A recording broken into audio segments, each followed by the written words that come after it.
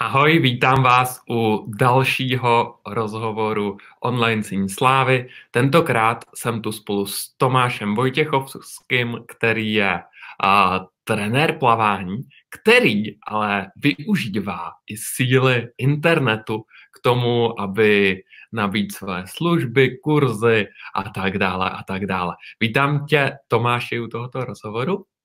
Díky, Pavle, za, za pozvání, za přivítání. Zdravím posluchači.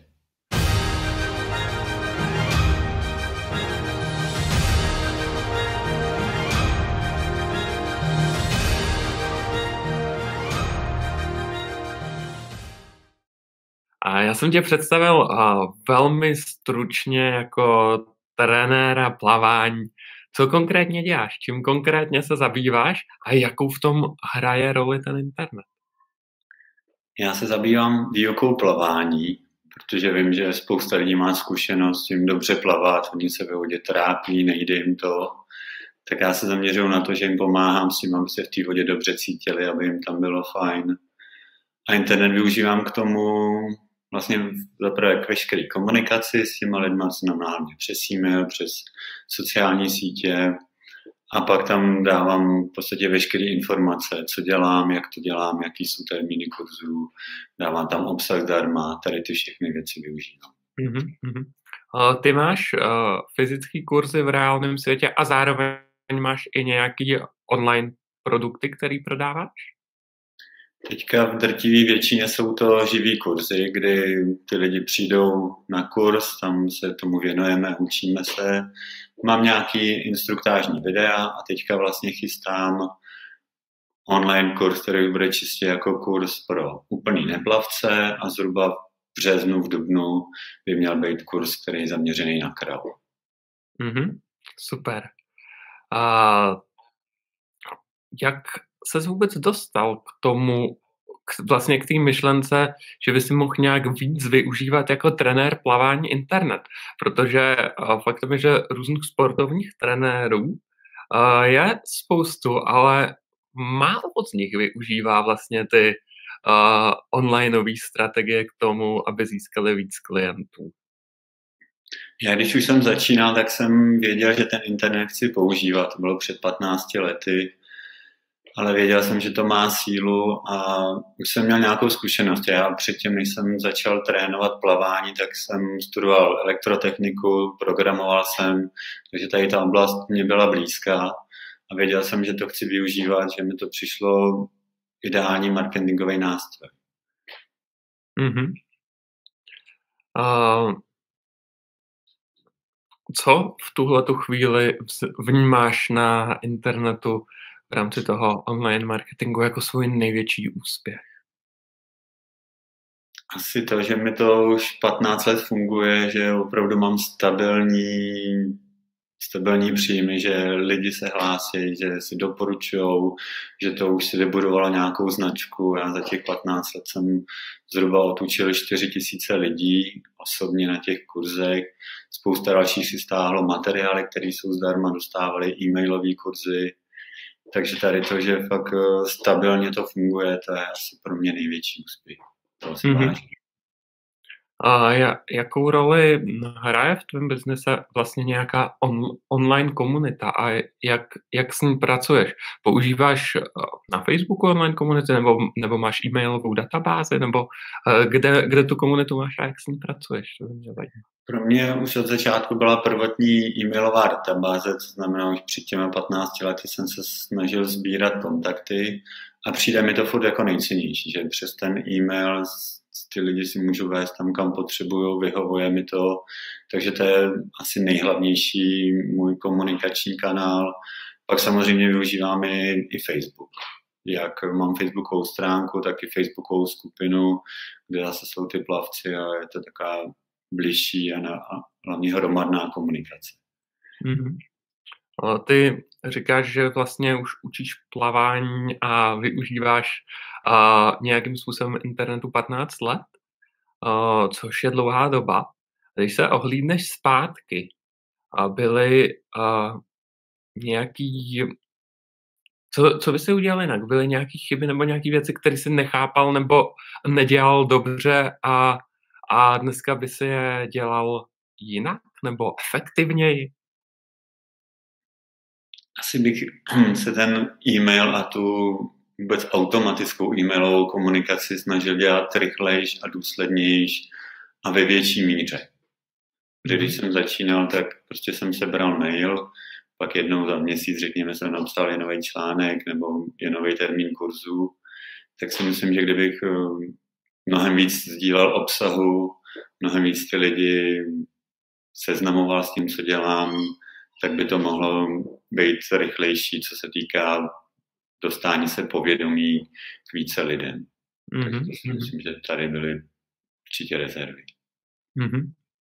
A teď mě zajímá tvůj pohled.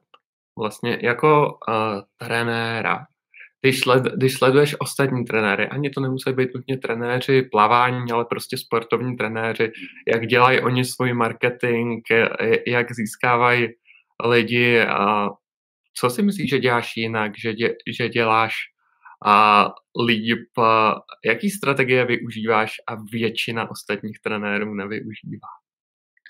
Mně přijde, aspoň to, co vidím, že většina trenérů nebo učitelů, to už jednou spíš jsou v tom offline světě, že si dají někde letáčky na bazén nebo někam k doktorovi a tam prostě přes ty letáky, přes nějaký fyzický materiály se snaží získat ty své klienty.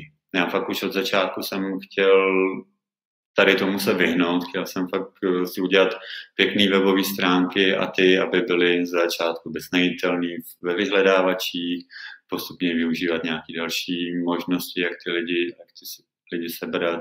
Takže si myslím, že mám výhodu v tom, nebo liším se v tom, že se snažím mnohem víc ty online strategie nebo technologie využívat, než to, co většinou vidí. Mm-hmm. A ty připravuješ teďka v rámci milionové výzvy a svůj vlastní online produkt, takový mini produkt pro neplavce. A jak, jak, se, jak se díváš na tohle vlastně na online návody nebo tréninky, vlastně jak dělat nějaký sport?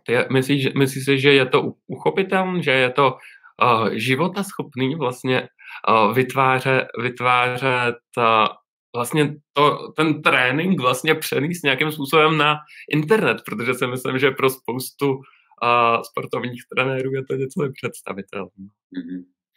Já to vnímám pro sebe tohle jako velkou výzvu, protože je něco jiného, když je se mnou člověk na kurzu a dostává ode mě okamžitou zpětnou vazbu a ví, co hned opravit, než když má nějaký videa nebo i doprovodní materiály ve formě checklistů a kontrolních seznamů a podobných věcí.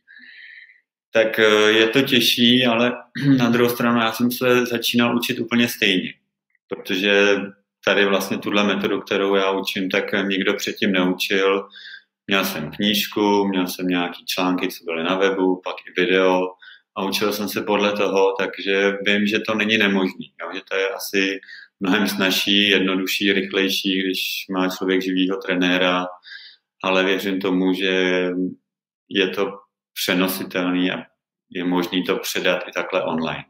Mm-hmm. Navíc bych chtěl do těch no, kurzů mít i podpůrnou facebookovou skupinu, kde zase bude možné s těma lidma komunikovat, zároveň třeba oni tam můžou nahrát své videa, kde bude hned vidět, co eventuálně dělají špatně, takže já jim můžu dát zpětnou vazbu aspoň takhle vzdáleně. Tak to si hmm. myslím a v to doufám, že bude fungovat.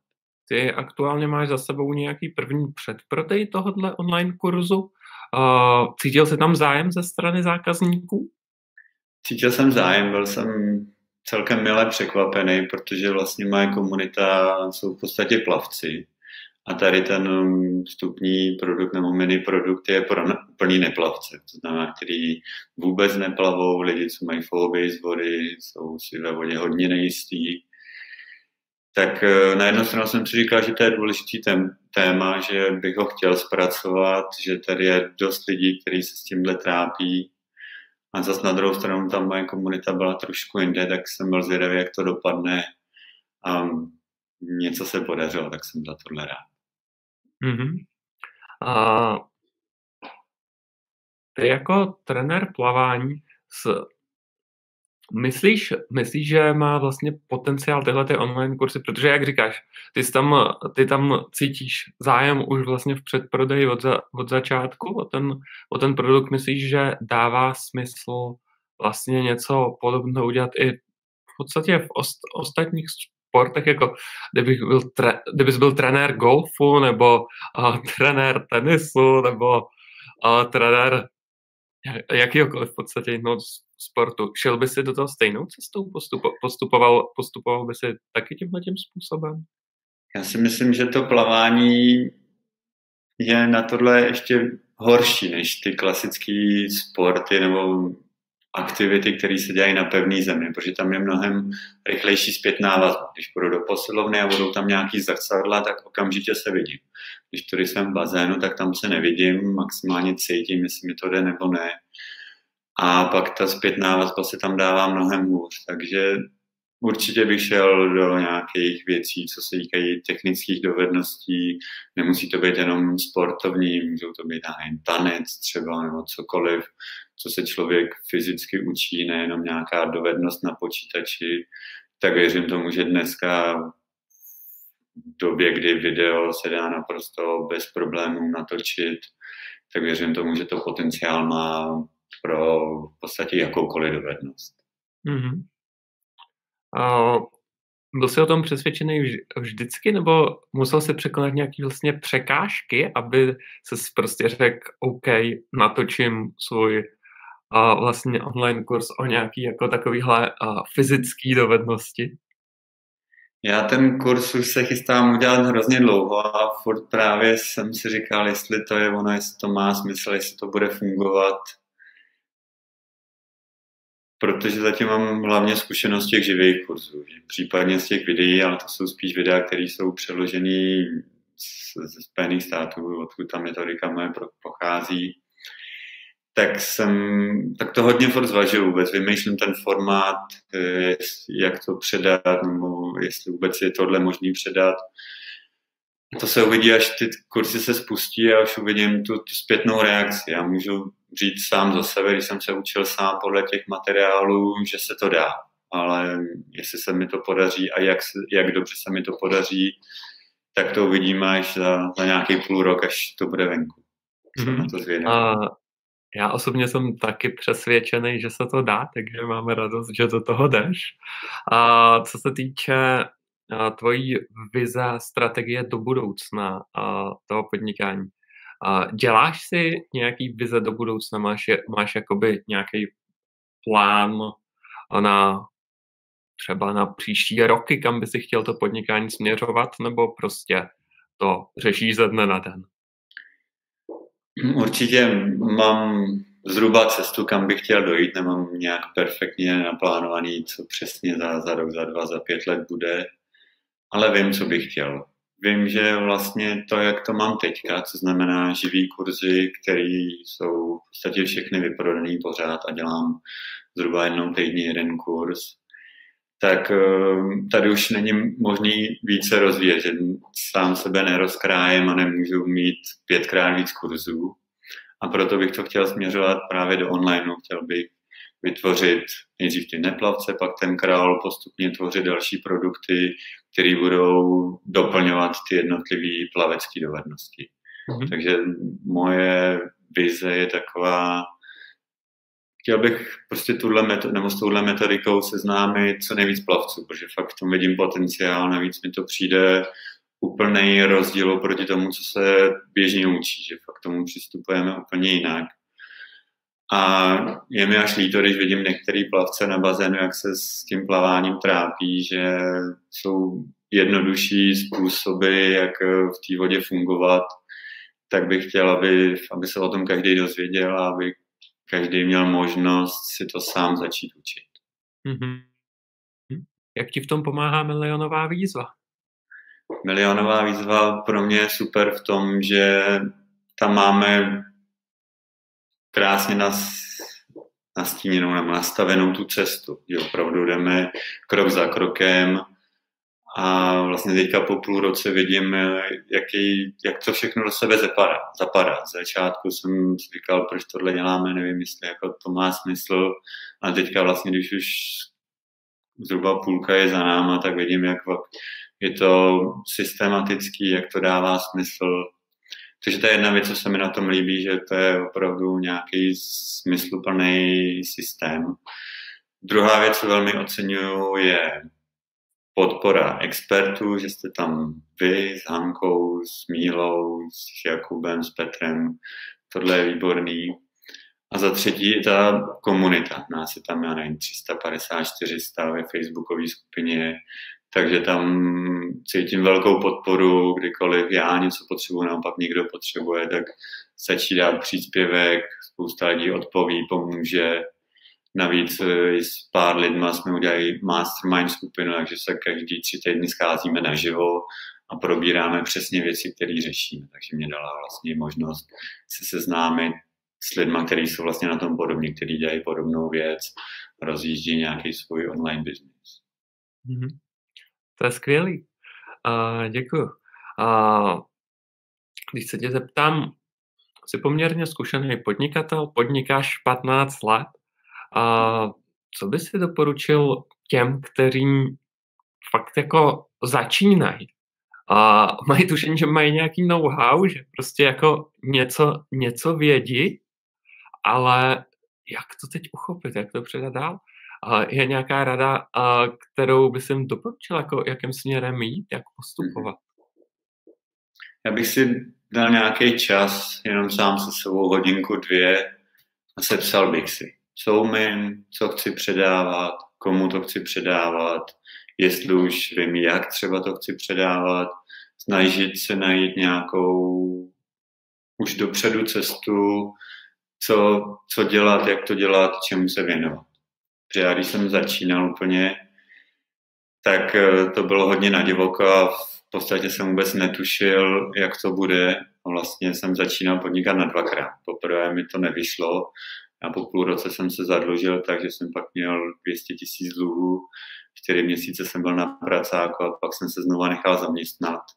Takže tam mě to naučilo pokoře, že opravdu to chce být dobře připravený a teprve až po druhý se mi ty kurzy postupně rozjeli, tak jsem ze zaměstnání přišel nejdřív na poloveční úvazek, pak teprve to dělám naplno. Vlastně jenom, jenom plavání dělám teďka, teď končím devátý rok, takže předtím jsem to měl na půl úvazek. Asi bych taky doporučil druhá věc, eh, být spíš konzervativní a nejít do toho naplno, protože se můžou, může stát spoustu věcí. Mm-hmm. A když by se skouknul kolem sebe vlastně, a jakou vidíš nejčastější chybu, co ty začínající online podnikatelé dělají, když prostě vydáš třeba i v milionové výzvě nebo, nebo v jiných trendích na internetu, když prostě vydáš, jak postupují ostatní, mm-hmm. je něco, čeho si všímáš, že prostě a je to častá chyba, která se pořád opakuje? Mně přijde, že ta taková největší nebo nejčastější chyba je, že když ten člověk nemá jasno v tom, co chce, kam opravdu chce jít, co chce dělat, tak potom vlastně mu to nemůže fungovat. Když neví, kam chce dojít, tak žádná mapa, žádný plán mu nepomůže, protože vlastně nemá, nemá, daný, nemá daný ten cíl té své cesty. Takže to mi přijde důležitý, co přesně chci dělat, jak to rozvíjet. A pak pokud to, si myslím, že pokud tohle vím, pokud mám jasno v tom, co chci dělat, jak to chci dělat, tak postupně, ať už milionový vejzě nebo třeba v klubu PZE, jsou tréninky, podpora, kde se tohle člověk může naučit, ale tu vizi nebo ten směr toho podnikání si myslím musí každý, každý mít celkem jasný. Mm-hmm. To znamená, nemůže být jediný cíl, prostě chci vydělat hodně peněz. Pak to většinou nefunguje. ale... Myslím, že možná se začátku by to vůbec nemělo být o těch penězích, ale spíš o tom um, cítit v sobě, že něco chci předat dál vymýšlet způsoby nejdřív, jak to vůbec předat, jak těm lidem to i třeba za začátku dávat zadarmo, dost naučit se vlastně, jak to své know-how předat a teprve až potom vymýšlet, eh, jak eh, to, jak to své know-how zpeněžovat. Mm-hmm. S tím naprosto souhlasím, že vlastně jako ta vlastně nějaká osobní vize, ale vize toho, co chci dát, je první. Že nejdřív musím dávat, pak něco můžu dostat. Přesně Naopak to bohužel nefunguje. Uh, dobře.